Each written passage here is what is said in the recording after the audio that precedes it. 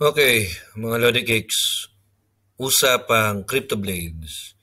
Siguro naman nabasa nyo na sa mga Facebook groups or mismo sa Discord ng Crypto Blades yung news na pwede na kayo makatipid sa gas fee by having one or two or three or four or five strikes in one uh, gas fee. So sama-sama na yon Pero yun nga, mamumultiply yung reward mo based dun sa kinalaban mong yon times 5 kung limang beses mo sila kalaban ang risk then is, syempre, pag natalo ka, sayang din yung 200 stamina mo, sayang yung 5 strikes mo. Okay?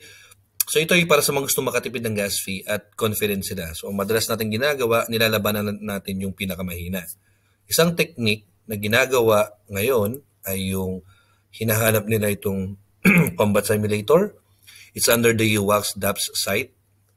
At dyan mo i-encode yung hero, uh, or the character power, weapon statistics, at yung enemy attributes para mas makasigurado ka na mananalo ka. And then you will assign it with the uh, you see the fight button, pwede mong ulit-ulitin yan para makita mo yung chances, other chances of, wi- of winning. Na-feature yan sa kabilang video natin.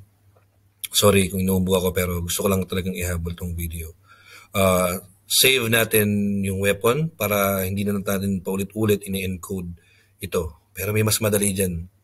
So as, as an example, meron ako isa ditong lightning na character.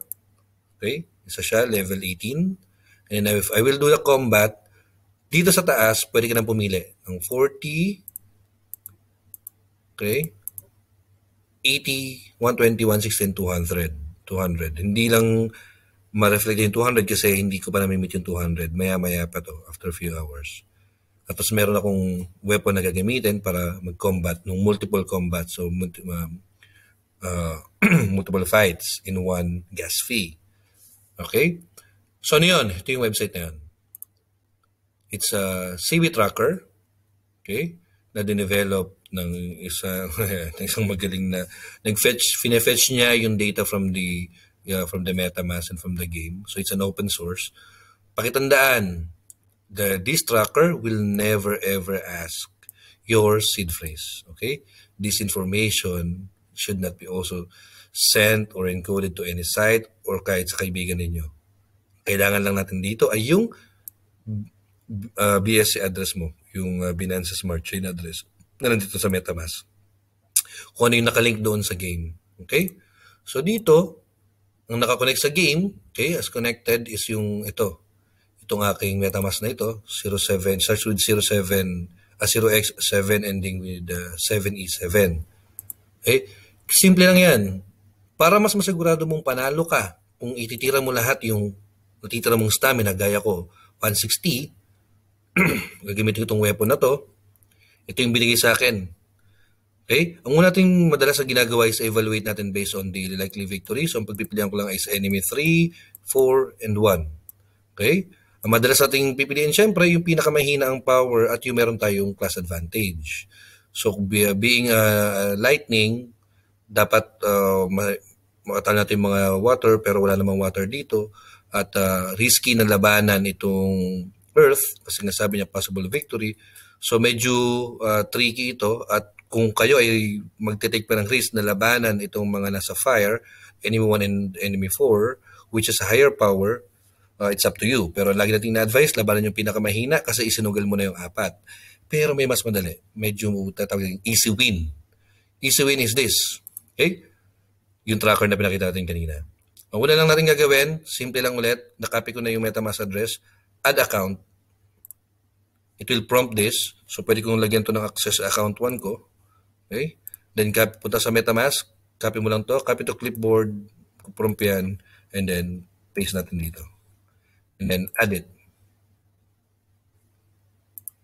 Okay? So pag na-add natin siya, automatically ma-fetch niya kung ano yung uh, character ID, anong level na siya, lightning, kasi nga ito ay nag-fetch uh, nung API or the data from the BSC, from the Binance Smart Chain. Tapos ano yung target level natin hinahabol. 185 na lang oh, ang kailangan natin para maging level 21. And I have a stamina left of 174. Meron akong nakastake sa loob na 3.67 skill, ang available sa wallet is 1 point, uh, points 1697. So total na asset ko skill is this. And natitira na lang sa akin ay 2 days para makuha ko yung in-stake ko few days ago. Kita lahat ng information dyan. At ito yung maganda. Simpleng-simple. Scroll lang towards dito. Ayun, the combat simulator. Hindi mo na kailangan mag-encode. Wala ka na kailangan ibang gawin. Kundi pindutin siya at magbibigay sa siya ng result based on kung sino inilaban mo. So, tanda mo sinong nilaban mo. Akin kasi isa lang yun nandito. Okay? And then, piliin natin kung anong weapon ang ginamit natin. Na color-coded naman siya. So, madali siya makita. Eh, ako lightning yun ang ginamit ko kanina doon. And then may multiplier sa apat eh, di ba? Uh, apat yung binitaw ko. Then let's run. Ayun. Ang mga green, yan yung mga highest chance. Sila yung may mga highest probability.